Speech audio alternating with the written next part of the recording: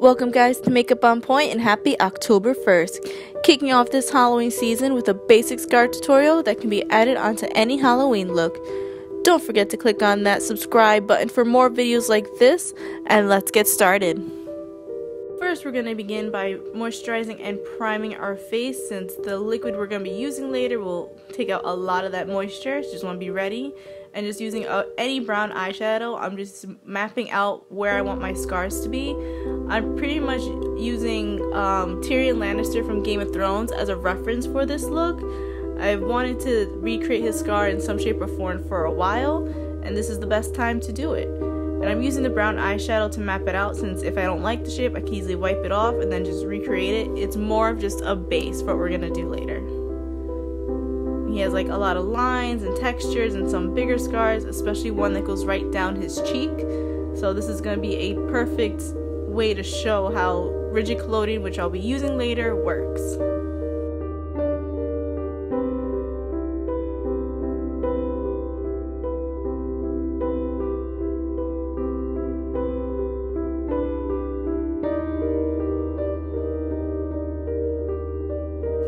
Talk about rigid collodion for a second here. Rigid collodion is a product used to create simulated scars. Um, pretty much what it does is a liquid that once applied to the skin, it presses the skin together to form a fold. And once applied to the skin, it tends to dry really fast once coated on.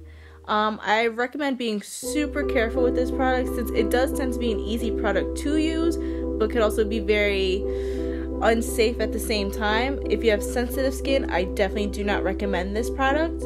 And especially if you apply it in too many layers in the same spot over a period of time, that rigid can actually create a permanent scar, which I'm sure you pretty much don't really want to come out of Halloween with.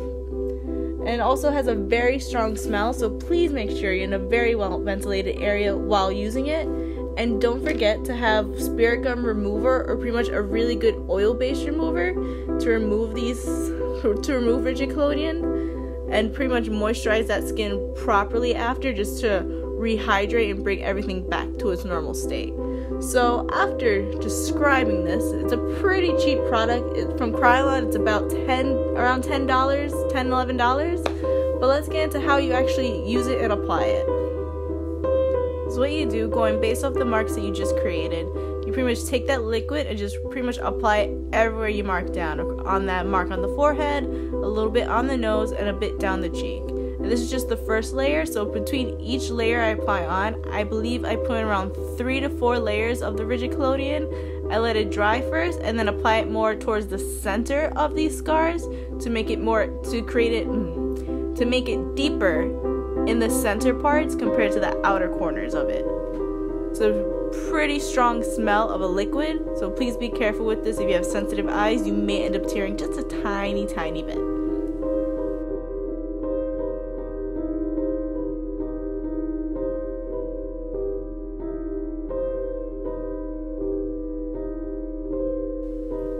Can pretty much leave the scars like this. I'm just going to apply some light makeup with some foundation, very natural makeup, a little bit of a brow, nothing too crazy since Game of Thrones makeups aren't really that glam. You could make it glam if you want to, but we're just going to fast forward this foundation process.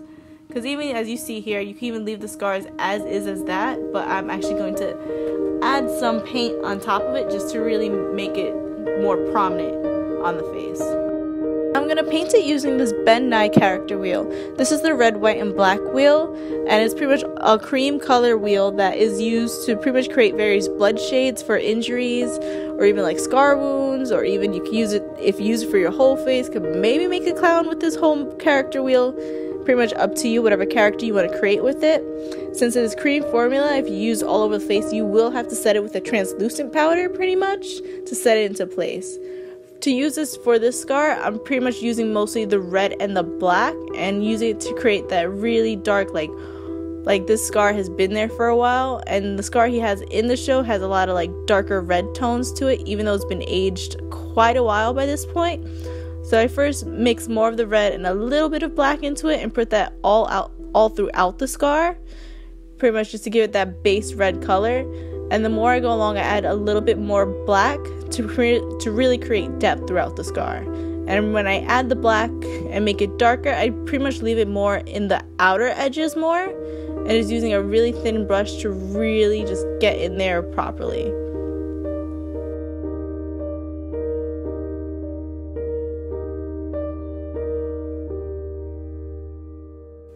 Since these scars are very small and thin, I'm not really going to powder these because I actually want it to stay a shiny look to it. So I'm not going to set these scars with powder. You could set them with a translucent powder if you want or even with like a dark red eyeshadow. It's pretty much up to you. This is a very simple like look that you could just get away with anything. And here I'm taking a thinner brush and taking the black more mixed added more black to the red and pretty much deepening each corner, each edge, just really deepen up the scar to make it look deeper than it is. And then towards the end, I just pretty much take straight up black and mix it in on just the outer edges, just the points. And pretty much you'll be done with your scar from this point on.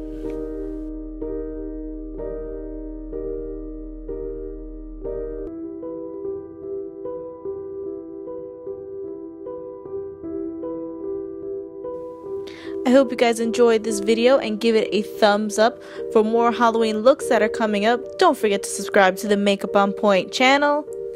Be sure to follow me on all social media links and let me know in the comments below what you guys would like to see next. Until next time, guys, I'll see you later.